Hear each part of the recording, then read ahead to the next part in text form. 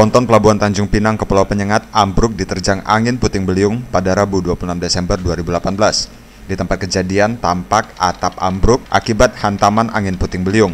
Bukan itu saja, di areal ponton Pelabuhan Tanjung Pinang tersebut juga telah terpasang garis polisi.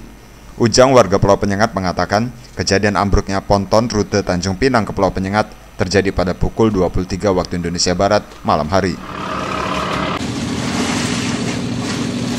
Diketahui dengan ambruknya ponton Pelabuhan Tanjung Pinang ke Pulau Penyengat tidak menelan korban jiwa.